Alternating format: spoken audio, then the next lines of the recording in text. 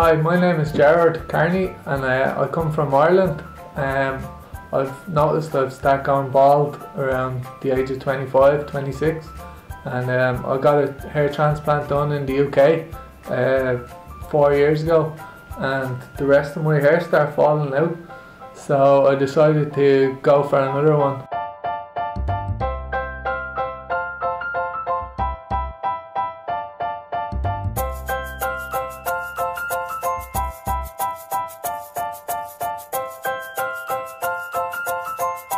So I've done a lot of research and I found out this clinic, MediSpa in um, Jaipur, Dr. Suneet Soni in, in India to be the best.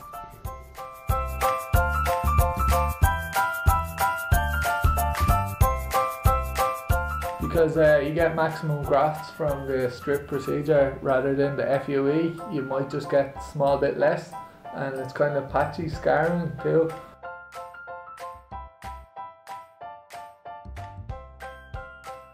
So overall, this if you're getting it done, FUT is the best for maximum grafts.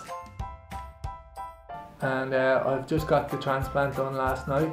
Um, I found the procedure to be very painless and he got maximum grafts and it was a lot more cost efficient than UK. It was cheaper and it was more professional and less pain. He was very good with um, antibacteria. He done through the blood, which is a lot cleaner. And I just found everything to be brilliant. The staff were excellent throughout the whole procedure. and they had let me stay for two nights, which was perfect. Had breakfast, dinner.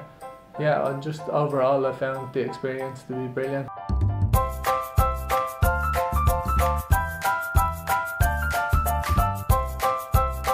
No, I found the procedure to be painless um, 99% of the time. Maybe just the start when the anesthesia went into the forehead and the back, but after that it was completely painless.